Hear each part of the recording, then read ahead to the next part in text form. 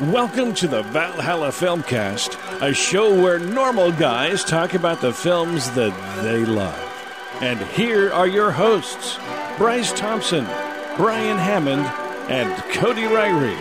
Now get ready, because the show starts in three, two, one.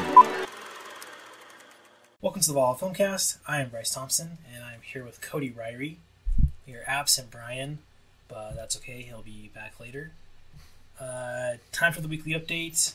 Uh, this week in trailers, there's a new Magnificent Seven trailer. Yeah. What'd you think of that one? I keep getting more and more excited for this movie. This one really focused on um, Chris Pratt. They're selling him. The first one seemed more Denzel Washington Yeah, specific, and he's still a lot in this one too.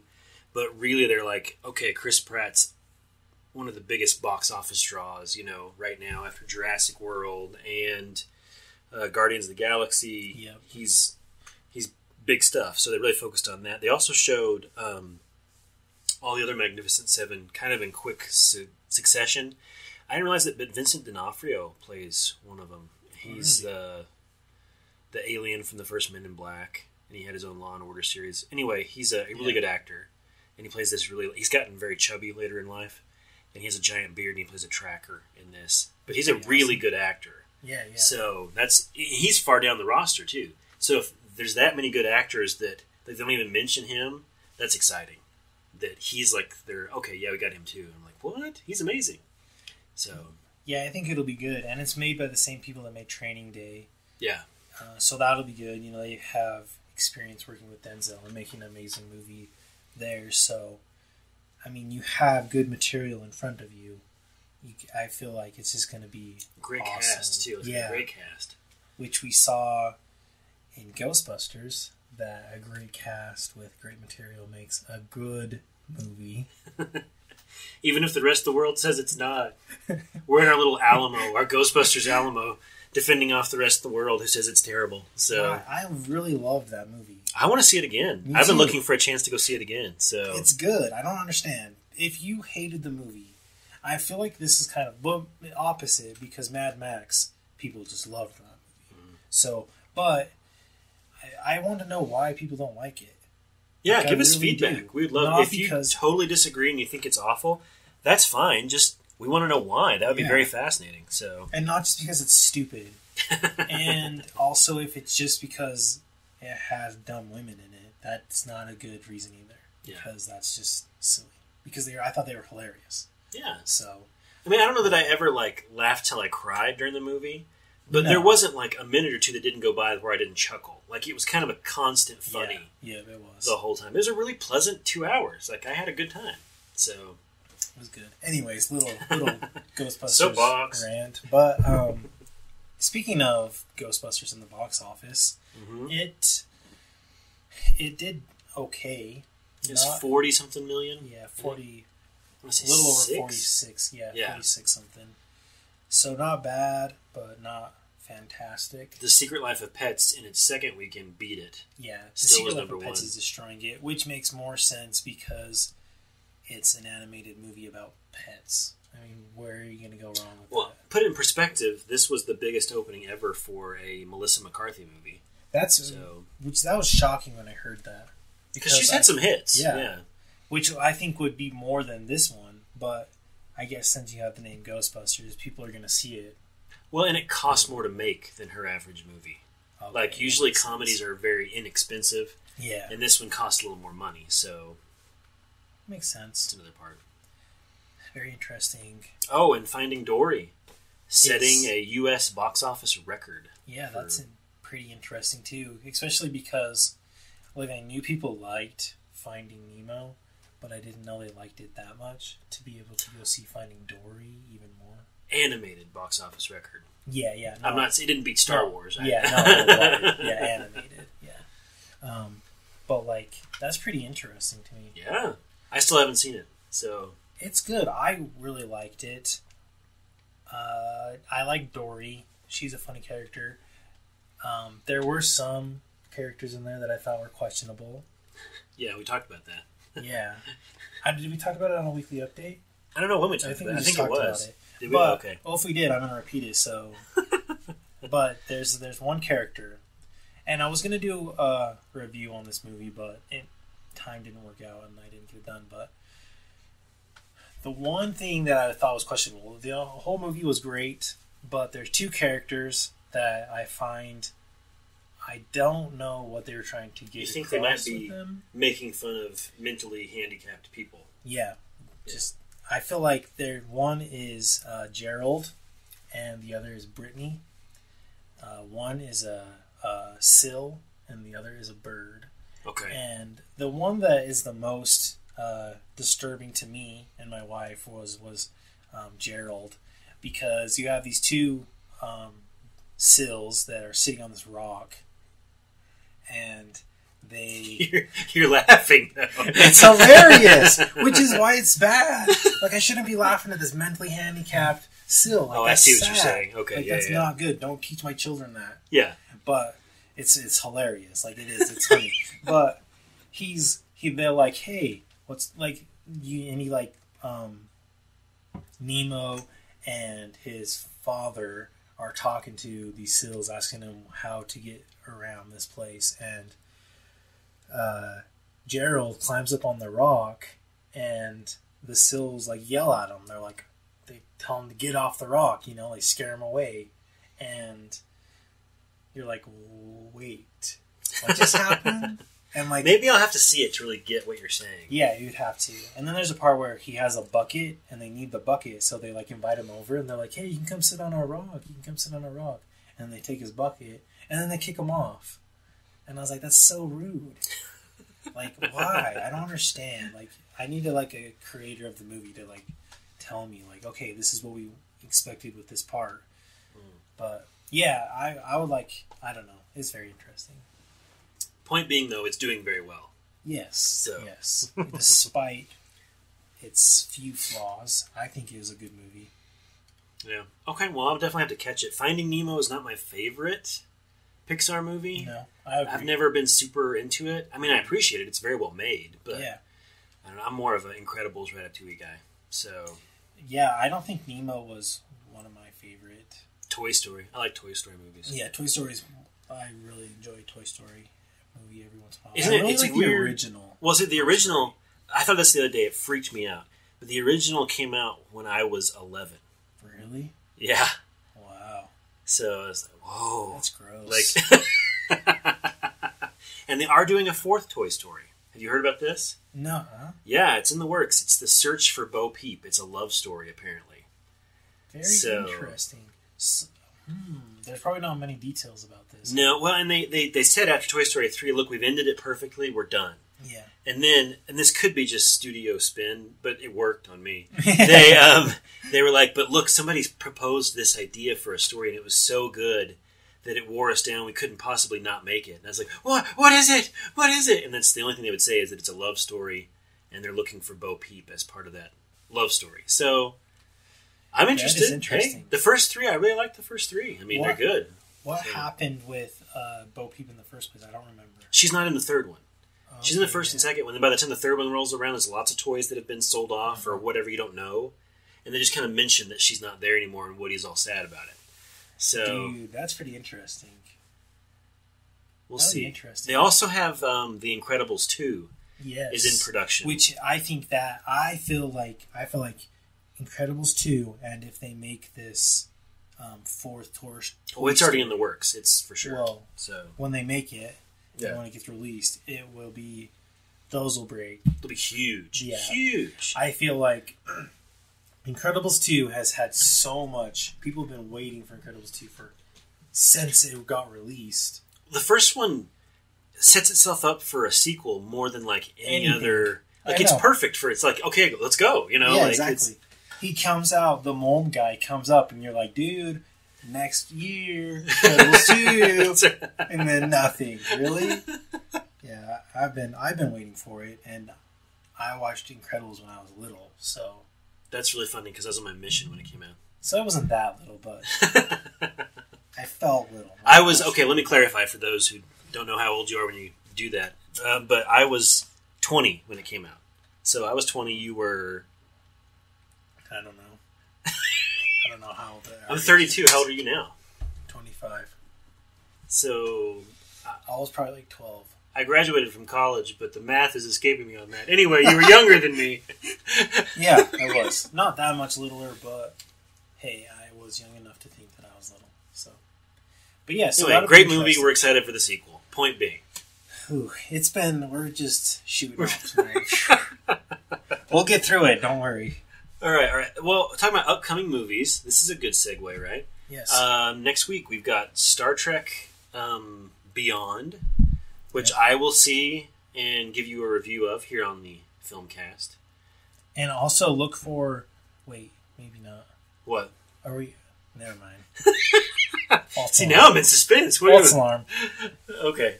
All right. But yeah, keep, keep an eye out for the Star Trek show when it comes out. Oh, hey, and I'm going to throw a pitch in for my, well, it's our, but I'm the one that's written for it yet. Our blog that's attached to the Filmcast, yes. which right now we're trying to work out all this stuff, but right now you can go to valhallafilmcast.blogspot.com and see the wonderful three entries that we They're have so far. They're, they're beautiful works of art. Check them out. Most recent one on Ghostbusters. So, Watch or don't watch them. You can't watch no, them. no. You can read You can them. read them, yes. Do that. If you didn't go to school in Idaho, you can read them. So, It's true. Uh, what else we got? Oh, Jason Bourne's the week oh after. yeah. Oh yeah. Co- co- We'll be doing that. And then even more exciting, Suicide Oh, Squad. yes. Be prepared. weeks. Be prepared. I've got some good ideas for shows, so look up for that. And uh, Oh, oh, oh, big news in the Yeah. Blu-ray. oh! Before we get to that, before we get to that, okay. that is super exciting. Before that is before- super exciting. But when we're going still on upcoming movies, right? Yes. Um, we were going to get The Founder, which Oh, is the yeah. Michael Keaton movie about the founding of McDonald's, which looked awesome. It looks great. we're big fans of Keaton here at the It's podcast. one that we said we were looking forward to Yep. in our year's update. And it was supposed to be released in two weeks, around August 5th, Yep, two weeks ish. August. All of a sudden, boom, pushed back to January 2017. Yep. January 2017th is the wide release. It's getting Yeah. a December limited release, but Boo. for those that can't go to a limited release, uh, look for it in January. It's kind of going to be, I feel, it's almost like The Revenant Yeah, that's exactly Uh, what they did for that. Yeah. of the year. Although it looks funnier than The Revenant. Very much funnier. very much funnier. I think it'll probably. I feel like almost it's going to have kind of the same effect, just because McDonald's is such a big, such a big uh, thing in America. Yeah. Like, you can Well, everywhere. It's all over the world. Oh yeah, but like even for America too, Mm-hmm. you know. But yeah, exactly. But like you can despise McDonald's, but you still are interested by the Golden Arches, you know. And so like a movie, I feel like it's going to draw a lot of attention. Well, okay. The, the bad side is it's being moved away. The good side of this is that the company that's producing it feels like it's so good that they're putting it in award season. yes, So it's not a bad sign. It's a good sign. I'm just booing it because I wanted to see it in two weeks and not six months or whatever. yeah, a while. So yeah, I think that again, like you said, that's a good sign because that means that they feel like it's a really good movie. Good Well, and Keaton's attend. he's magic right now because yeah. he was in Birdman, which won Best Picture, and then he was in Spotlight the next year, which won Best Picture, and now he's in this. I I, I, you- want him to get like some love though. Do you think he? I he'll either win. I feel like I haven't seen the movie on. Yeah. The following viewers' opinions and commentary are the sole property of of the the way it's Valhalla all Filmcast. Any unauthorized reproduction without prior consent is prohibited. Any incidental music, audio clips, or film trailers are used for the sole purpose of film criticism and commentary, as allowed This under the Fair made it, Use he's Act. only made two movies that I know of before. He made um, The Blind Side, Oh yeah, that was a good one. and and then uh, it made- he was okay. it was okay. movie. No, don't get me wrong. I, I didn't People hate it. loved it. Yes, fair enough. But that was an Oscar for Sandra Bullock. And then he made Saving Mr. Banks, which I thought was a better movie. Mhm. Didn't win anybody any Oscars, but I really liked it as a movie. He's good with actors. So that's why I'm excited to see him with Keaton because Keaton's one of my favorites. Well, you have a um, Nick Offerman. Yes, He's yes. in it too. He looks hilarious. I love him from Parks and Rec. He was Yeah. great. And in 21 Jump Street, Yes. he's hilarious. So that'll be. Int- I'm excited for that movie. It's one that we mentioned and now made our list irrelevant. Because they jacked it up. But hey, it happens. uh, so look for that um, next year. Um, Now we can go on to Blu-ray. Blu-ray announcement. We've been talking about it pretty much all, every week since we found out about it, but it's official. Yep. They have announced that uh, Pan's Labyrinth will be uh, in the Criterion releases for October. October 11th, to be specific. I'm counting the hours. But also with that announcement, they have announced that there will be a Spanish. Uh, you can say it better. well, it's I don't know the, like this the technical name, but it's the Spanish language trilogy that Del Toro has made. It's Cronos, Devil's Backbone, and Pan's Labyrinth, all in a set. Oh, it's amazing. And then at first I'm like, okay, well I don't really care because I've already got Cronos and Devil's Backbone, and I'll just get Pan's Labyrinth by itself. But in the set, there's like a hundred and something page hardcover book about Del Toro. And I was like, screw you, Criterion! Like, See- I was gonna save my money, and now it's gone. So, because Del Toro to me is like, Yes, you know, the coup de grace. So those who have been with us since forever know how we feel about Del Toro. Um, if you ha- don't, go down to the very end, to the very beginning, listen to all of them because we talk in depth about every, Del Toro Del movie. Toro movie. I think that may be the only filmmaker we've ever done a. This is all of their movies. Oh, and We went with Tarantino, we did that too. That's right. Yep. But they're the ones that have the filmmakers that we really care about that have done something. Yeah. Well, Tarantino's like your guy, and Del Toro's kind of my guy. Yeah, I quite enjoy like a Tarantino film. uh, but yeah, so that'll be really interesting. I think I was thinking about it. I was thinking about Pan's Labyrinth and um, Devil's Backbone and all his movies, and I was thinking I think Cronos. I missed that movie. Is that your favorite? I, it's like growing on me. Like Really? I haven't watched it in forever, but I'm like, dude, that's a really good movie. It is really like when good, I yeah. watched it, I wasn't really used to his style and style. Well, that was the first one you watched, I think, wasn't it? no, no. I'd No. seen Pan's Labyrinth a while. ago, Oh, that's right. That's right. ago. And then I think I watched Devil's Backbone, and then I think I watched those other ones. Because we we actually watched Cronos together the Yes, first time we saw uh-huh. it. Yeah. But Cronos, it was just interesting. Like I wasn't used to it, and Ron Perlman was like, "You're not a guy that hunts Well, vampires. You're used to Like, seeing him in the biker show yeah, he's yeah. he's Clay. Yeah. So that's and so like he was just weird and so but then I've been thinking about it a lot and I'm like, dude, I really liked that movie a whole bunch. I need to rewatch it. Because I I mean I think I'll say that after every movie because like, like I think about Devil's Backbone and that movie is really good too. yeah. And Well, I love everything Del Toro, but my favorites are his Spanish language movies. Yes. Those are the yeah, for me. Those are just a level above. I'll agree. I'll agree. I think that yeah, those three movies they're like his like you can They do form an everything. awesome trilogy too. Oh yeah, they do. You know, yeah, it's so- amazing. And his English ones, they're good too. I quite enjoyed uh, the robot one, um, Pacific Rim. Pacific Rim. I enjoyed that a lot, and I was sad to hear that they're not making um, the number two kind of fell on its face. Well, they're making Pacific Rim two. It's Yes. set. Del Toro has nothing to do with it. oh yeah, that's what the that's what it was. That's what it was. That's what it was. I knew that Del Toro like got booted, and like so pretty much it died. He got booted after Crimson Peak didn't do super well. See, I liked So- Crimson Peak. So did I. I really do. but again, his other Spanish speaking ones are amazing. I hope his next movie that he gets to do is Spanish speaking again because I think he just can just This, you know how bad. Okay, this is this is a little embarrassing to admit this, but embarrassing stuff makes good podcasts. Like the crying show, everybody talks to me about how much they like that one, and that was the most embarrassing thing I've ever recorded out loud. hey, so, you never talked about Bruce Jenner. That's that's true. so Maybe the most embarrassing thing you've ever recorded. It was close for me. No, I have. Okay, whenever I get bored at work, which I never do because I love my job. He, if anybody's listening. Anyway, um, if I get bored at work or somewhere else, I have daydreams, and the daydreams are about me somehow getting, you know, seven billion dollars. And the first thing I do is I go and I fund anything Del Toro wants to make as a movie, and I just throw three hundred million dollars at him and I say, just whatever, please, just go. For it. This is how much my ticket costs. yeah, no kidding. Go for it. Uh, Because I get so hurt. He has all these really cool ideas and he talks about them and he never gets to make them because his movies aren't super popular, if we're being brutally honest with ourselves.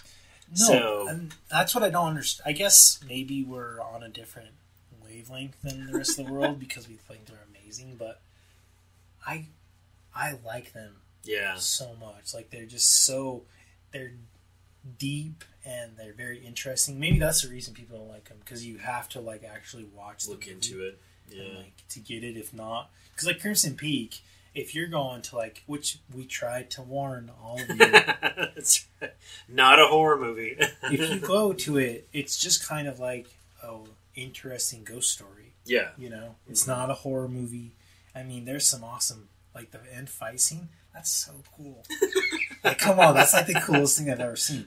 But I don't know, it's very interesting. Well, and the the one project, and then we'll get off this. I promise. I'm sorry. he has this project it's out the mountains of madness, where it's this H.P. Lovecraft story where this group of explorers in early 1900s goes down to Antarctica and they find an ancient city under the ice, and they wake up monsters inside of it and stuff. Mm. And That's it's all planned out. Tom Cruise was supposed to be the main actor. He signed on for it. Wow. They had all the monsters designed and ready. Oh, They went and so pitched cool. it, but it cost too much money. It cost like two hundred million to make it, and he wouldn't do it unless they'd let him make it a hard R Nice. he said it was too violent. Like he couldn't do it for anything else, and they won't do it. They won't make it, especially after Crimson Peak. I don't think it's ever going to happen. See, So What I don't know. It makes me sad that Crimson Peak kind of didn't do as well as I feel like as I feel Del Toro deserves. yeah, Like I feel like he deserves to be uh, the Revenant directors. yeah, yeah. Because in our in Iñárritu, haha, look at that! I didn't roll the R a little. The I I like some of his stuff. Yeah, like, me too. Uh, but my favorite thing he's ever done is Birdman, because Birdman doesn't take itself too seriously. Yeah, exactly. I think he gets a little pretentious. Like if you if you push him, like I don't know if you ever saw Babel no. or Babel or however you say it, Yeah. and also The Revenant. Like they're really good movies, but they kind of go into like we're looking at the universe and Well, also- what does it all mean, and you know, And yeah, like you look at that and like never have you ever seen a movie that you can see the actor's breath go yeah, yeah, and like it's like look i'll do whatever i want but like when i talked about it i was like that's amazing that's so cool which i do i think that's really yeah, cool yeah. but no one else is getting away with that He walks a fine line. oh yeah and it's just weird because there, okay, there's the th- okay. I promise we're getting off soon. The, um, there's the the three Mexican directors that all popped up at the same time. There's Alfonso Cuarón, uh, Iñárritu, and Del Toro. And me, easily my favorite is Del Toro. yes But the other two have done so much better, box office and awards wise, than Del Toro has because uh, made Gravity, which he won Best Director for, and he won Yeah. Best Screenplay and whatever else. And Iñárritu's won Best Director two years in a freaking row that's crazy for his movies, and Del He Toro's won. never been nominated. He was not nominated for Pan's Labyrinth. Pan's Labyrinth was not nominated for Best Picture. It lost Best Foreign Language Film. uh, So well they let him read off the nominations last year oh, that's true. Huh? Give Like, it to his buddy. oh come on like that's like such a kick in the face like we're not going to nominate you but here you want to read the nominations and can we say, even if you Gosh. hated Crimson Peak, you had to admit that the production design and the cinematography were amazing. It is. It's so like that's the thing. His ideas are mind blowing, and I think that's why it's so interesting because it's you go into a Del Toro movie and it'll be nothing that you ever have ever You, seen you haven't before. seen this before, exactly? Yes. Uh-huh. Like when would a ghost ever look like that?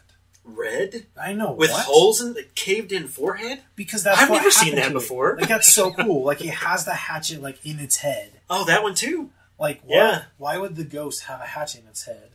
Well, well, that makes total sense because that's what killed it, you know. And like they're all like crickety. Well, in the house, the house Oh, that so bleeds. Yeah, like it's so. Oh, come on!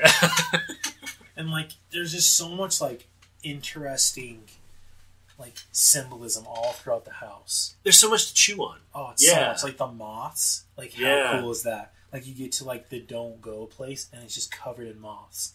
Oh, because if they eat little, and that's where she almost dies, and that's like the sister's place to go. Like, it's so interesting and disgusting. Well, in the, the basement with all the pits where they keep the bodies is like Oh, hell, basically. I- you know. so cool and then they go in the, up into the white area to have the fight, and that's really cool. I with her nice little like revenge, like right at the end, her saying, like, "Oh, that's cool." I'm gonna have to watch it again now. It's We talked myself into watching it again. See, Crimson Peak, and that's the thing. We just said the Spanish movies are better, which they are. But just listen to what we just said about Crimson Peak, the one that we didn't even that didn't even do. We didn't put up with that. Yeah, I mean, I mean, come on. His movies are amazing. He needs more record, more uh, people to live, watch his movies. And here's what I'm hoping. This is my dream again, and then we'll get off this. is that he goes, he makes some small movie because he's been talking about this small movie he wants to make with one monster. yeah, It's only got one creature, Um, and then it's small budget. He makes it, and that's the movie that takes off, right? Because he doesn't need any money for that. They'll let him make it, and that's the one that gets the awards and is popular. And then he'll get the money to make bigger stuff. yeah. I don't know that it's going to happen, but I'm holding that hope. So I think it'll be so cool. Another thing, just one more thing.